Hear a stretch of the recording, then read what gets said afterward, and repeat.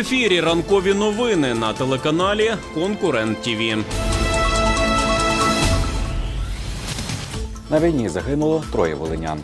Удар по медзакладах Дніпра. Кількість загиблих та поранених зросла. Верховний суд обрав нового голову замість князєва. Слава Україні! В ефірі ранкові новини 27 травня. У студії працює Владислав Корнелюк. Далі розповім детальніше. Волинь знову у жалобі. На війні загинули троє волинян. Не стало воїнами Миколи Гапончука. Чоловік 1974 року народження був родом із села Велемче. Загинув герой 21 травня в результаті ворожого артобстрілу в районі Берхівського водосховища Донецької області. Також загинув Роман Прокопчук. Військовий був жителем села Світязь. Крім того, під час виконання службових обов'язків внаслідок штурмових дій противника загинув навідник механізованого відділення механізованого взводу Іван Сокол. Волинський герой загинув біля населеного пункту Авдіївка на Донеччині.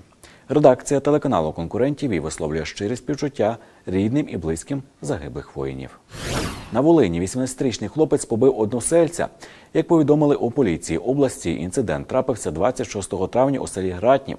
Ввечері до обласної лікарні каретою швидкої допомоги з цілесними ушкодженнями доставили 45-річного жителя району. Постраждалого госпіталізували у відділенні реанімації. Співробітники оперативно встановили обставини отримання тілесних ушкоджень. З'ясувалося, напередодні у постраждалого виник конфлікт із 18-річним односельцем. Ввечері, будучи на підпитку, молодик прийшов до його будинку та жорстоко побив. Зловмисника затримали. У Луцьку судили 28-річну матір двох малолітніх дітей. Жінку визнали винуватою у неодноразовому незаконному придбанні зберіганні з метою збуту та збуті особливо небезпечної психотропної речовини.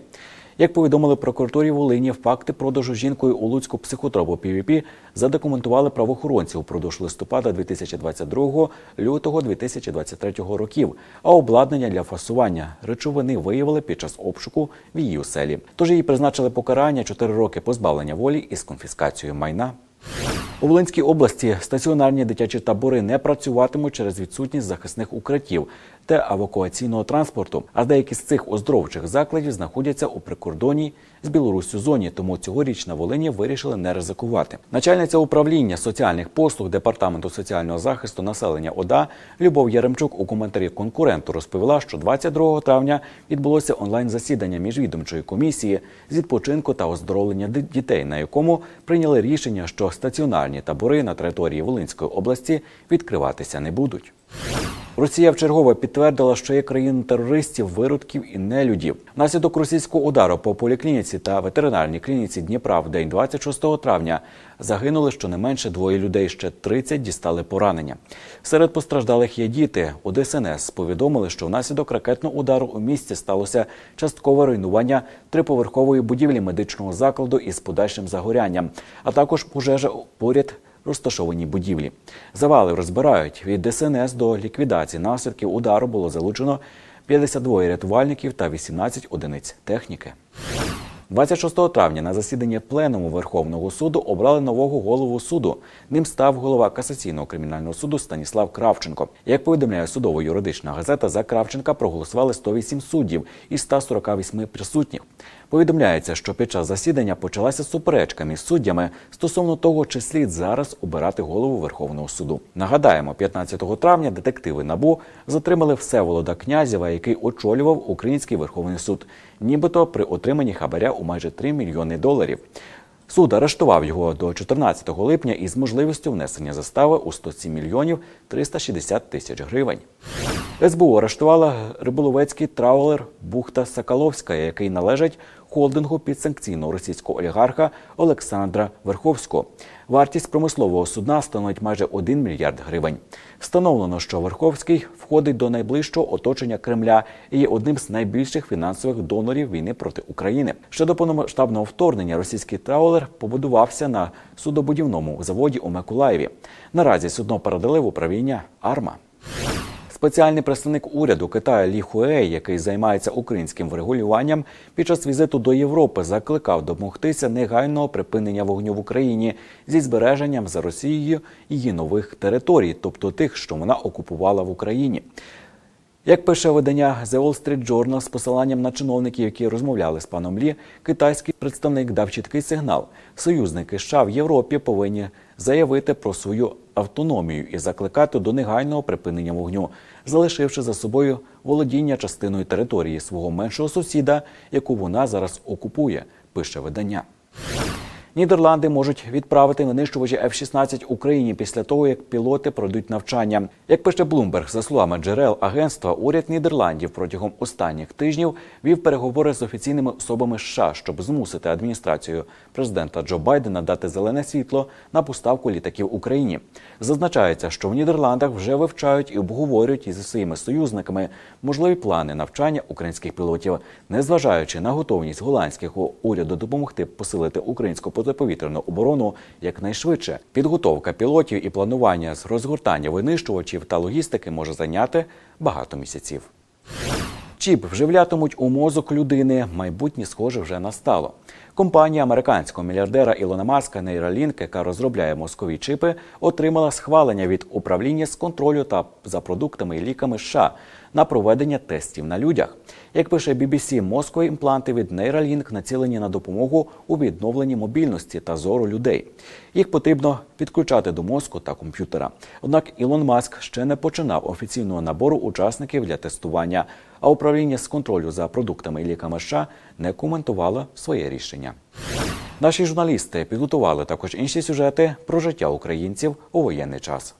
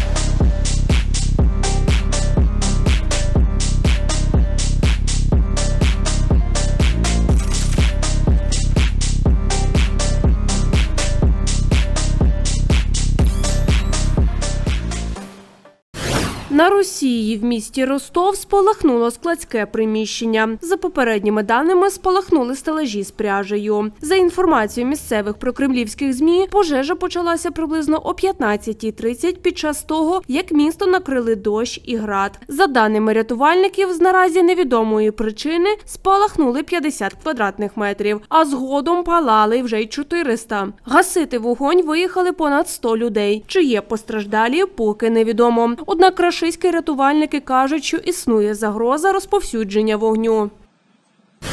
Луцьк знову у сльозах. 26 травня громада попрощалася із військовослужбовцем, який віддав своє життя, захищаючи Україну від російських окупантів. У кафедральному соборі Святої Трійці відспівали 52-річного Олександра Ульяницького 1970 року народження. Кадри з прощання опублікували на сайті міськради. Захисник був призваний на військову службу по мобілізації. Загинув 7 жовтня 2022 року під час виконання бойового завдання у районі населеного пункту Нова Кам'янка Нововоронцовського району Херсонської області. Після завершення панахиди домовину із тілом героя прощальною ходою пронесли театральним майданом. Олександра Ульяницького поховали на міському кладовищі у селі Гаражджа. Редакція телеканалу Конкурент ТІВІ висловлює щирі співчуття рідним і близьким загиблого воїна. Честь і шана герою.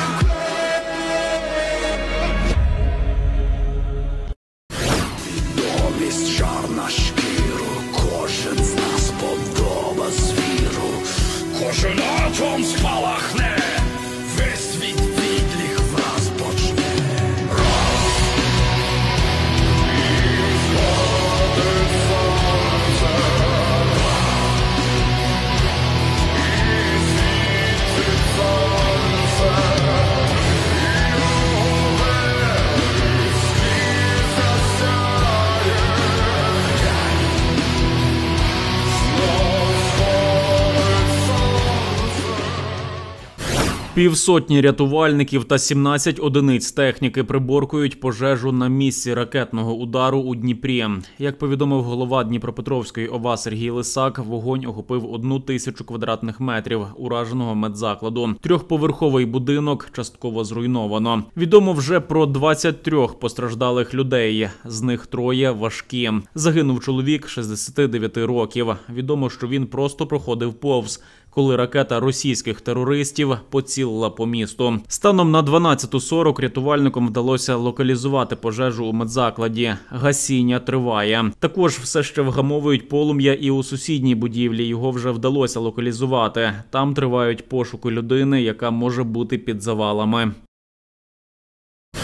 Внаслідок смертельної ДТП у Києві 26 травня за участі судді Олега Тандира загинув 23-річний нацгвардієць з Черкащини. За власною інформацією ТСН відомо, що військового Нацгвардії звати Вадим Бондаренко. Він родом з міста Тальне на Черкащині. Хлопець до початку великої війни проходив строкову службу спочатку в Черкасах, потім його відправили до столиці. Незадовго до початку повномасштабного вторгнення Вадим мав повернутися додому. Однак після 24 лютого продовжив службу. З початком активних бойових дій нацгвардієць хотів піти на передову, однак його залишили нести службу на блокпостах у столиці. Про загиблого кажуть, що він був добрим хлопцем і патріотом своєї держави.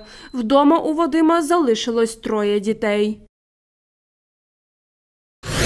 Російські окупанти вдарили артилерією по цивільному сектору міста Гуляйполе Запорізької області. Зруйновано житлові будинки та господарчі споруди. За інформацією голови Запорізької ОВА Юрія Малашка, під завалами опинилися дві жінки 47 та 62 років. Їх вже витягли з-під завалів. Їм надається медична допомога. Фахівці вже працюють над ліквідацією наслідків артилерійського удару рашистів. Внаслідок ракетного удару по поліклініці в місті Дніпро одна людина загинула та 15 поранено. Про це повідомили у телеграм-каналі президента України Володимира Зеленського. На місці триває ліквідація наслідків обстрілу та порятунок постраждалих. Залучені всі необхідні служби. Деталі уточнюють. Тимчасово окупованому Донецьку вранці 26 травня сталася бавовна. У кількох районах міста видно густі клуби диму. Як повідомляють ДНРовські ЗМІ, за короткий проміжок часу близько 8.40 ранку пролунало близько 5-6 вибухів.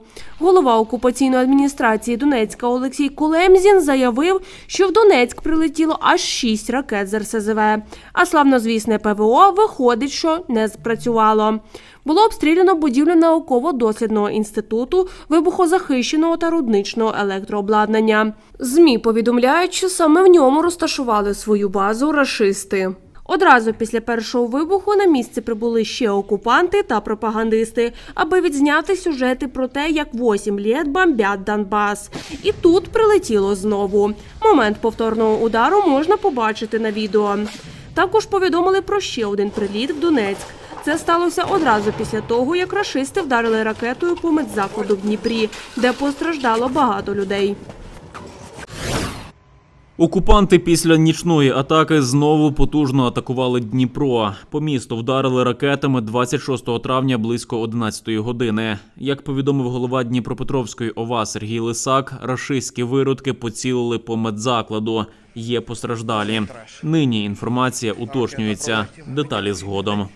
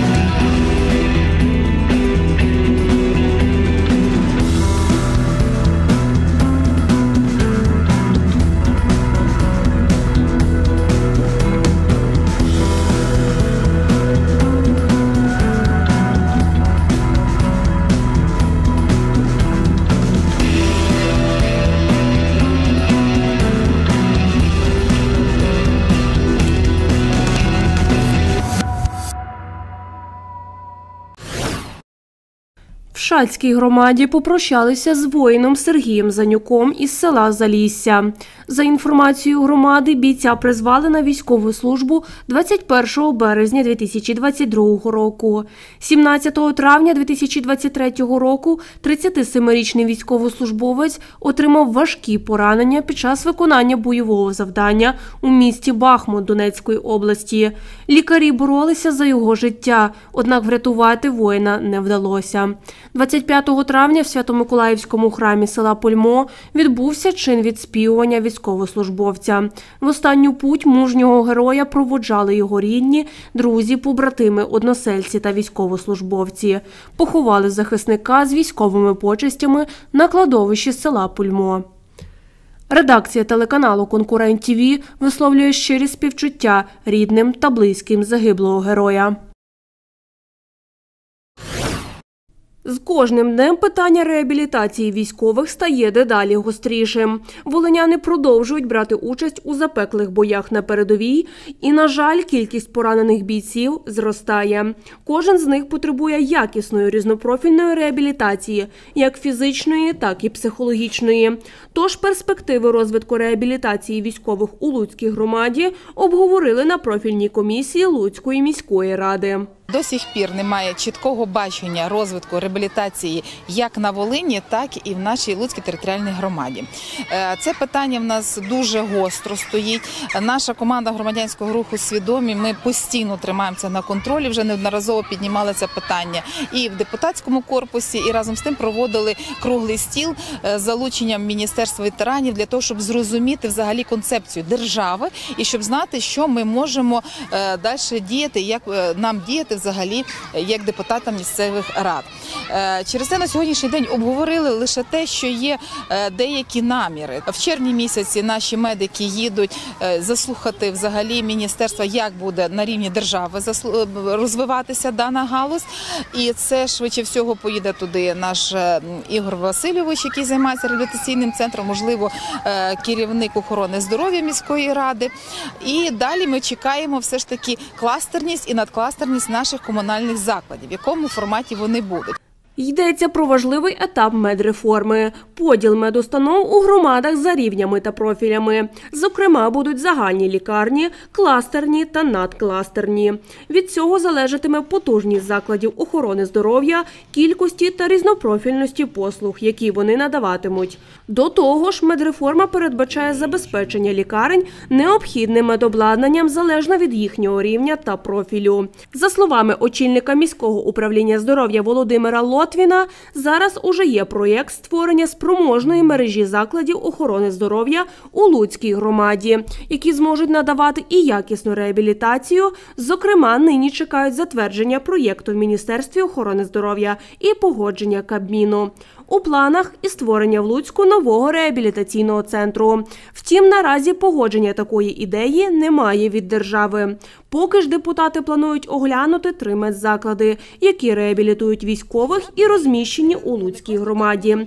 Таку пропозицію внесла депутатка Луцької міської ради від фракції Громадянський рух свідомі Алла Надточій. Для того щоб зрозуміти, як працює в нас реабілітація в наших комунальних закладах, е, то я ініціювала е, виїзне е, виїзну комісію медичну нашу депутатську, і ми обов'язково об'їдемо всі наші заклади і побачимо на якому рівні який заклад яку реабілітацію надає. Від цього будемо відштовхуватися і надалі, тому що ми вже в липні зможемо проговорювати про ці кластерні, надкластерні наші комунальні заклади медичні, хто яким стане, і що ми можемо діяти надалі. Це питання ми тримаємо на контролі, будемо працювати і надалі. Звичайно, дуже добре було б, якби долучалася до цього держава, але ми, е, як е, з практики, ми бачимо, що це важливо громадам. Важливо громадам зустріти хлопців, які сьогодні воюють, повернути їх е, в соціаль... соціалізувати, повернути їх в цивільне мирне життя і разом з тим допомогти з їхніми травмами, щоб вони відчували цю підтримку на сьогоднішній день і знали, що коли вони прийдуть і треба їм буде допомога, в тому числі і медична, реабілітаційна, то вони її отримають. Тож питання якісної і повноцінної реабілітації наших захисників, які пройшли пекло війни, неабияк на часі, і над її забезпеченням у Луцьку активно працюють. В ніч на 26 травня голова Макарівського районного суду Київської області Олексій Тандир збив на смерть 23-річного нацгвардійця на блокпосту на в'їзді в столицю на Житомирській трасі. Про це пише Українська Правда. Журналісти зазначають, що суддя їхав на автомобілі Lexus та перебував у стані алкогольного сп'яніння. Також на відео видно, що в автомобілі судді лежить пляшка з-під алкоголю. Правоохоронці затримали винуватця ДТП. ДБР повідомило, що суддя відмовився від проходження огляду на місці. Його доставили в лікарню з метою виявлення стану сп'яніння. За даними телеграм-каналу Київ Оперативний, станом на 9 ранку з Олексієм Тандерем цитуємо, досі возяться і ніяк не можуть все оформити до кінця. Чотири рази їздили в лікарню, і він нібито не може здати аналізи. Телеграм-канал стверджує, що Тандир шукає різні хитрощі, аби затягнути процес і змусити зробити помилки в оформленні. Згодом ДБР заявило, що зараз вживають заходів щодо примусового відбирання біологічних зразків у судді. Ввечері 25 травня в тимчасово окупованому Бердянсько-Запорізької області прогриміли потужні вибухи. Місцеві мешканці повідомляють про декілька прильотів. За інформацією місцевих телеграм-каналів, в напрямку вибухів промчали машини швидкої допомоги. Окрім Бердянська, гучні вибухи чули і біля села Осипенко, а будинки аж трусило. Водночас телеграм-канал Гнила Черешня повідомляє про ураження складу БК рашистів, складу паливно-мастильних матеріалів, а також місце розташування окупантів. Крім того, зафіксовано рух трьох ЗРК «Панцер» в напрямку виїзду з міста. Вибухи підтвердили і в Бердянській міській військовій адміністрації. Повідомляється, що окупанти не дорахувалися установок С-300. При цьому окупанти заявляють про збиття нібито якихось трьох ракет. Зазначають, що їх перехопив ЗРК «Панцер», певно той, якого вивозили з міста.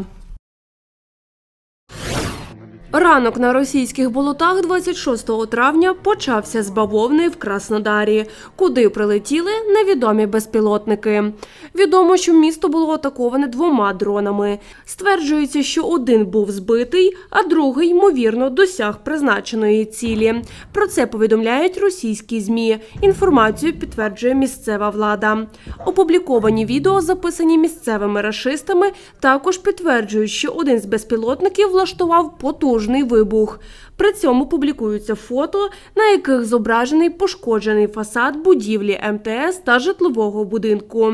Українські телеграм-канали припускають, що БПЛА «Шахет», який самі ж рашисти запустили по Україні, заблукав, прилетів в Краснодар і там впав. Також в ніч на 26 травня біля російського аеродрому в Морозовську Ростовської області відпрацювала ППО. За інформацією про кремлівських змі, обійшлося без постраждалих. Російські телеграм-канали опублікували кадри атаки на військовий аеродром. Пізніше губернатор Василь Голубєв заявив, що в районі Морозовська нібито була збита українська ракета. На цьому ми завершимо наш випуск новин. Якщо у вас є більше інформації та бажаєте поділитися нею з нами, телефонуйте 068 45 10 04 або ж 050 782 40 11. Підписуйтесь на наші соцмережі, дивіться оперативні новини у нашому ютуб каналі та не пропускайте головного. Для вас у студії працював Владислав Корнелюк. На все добре і побачимось.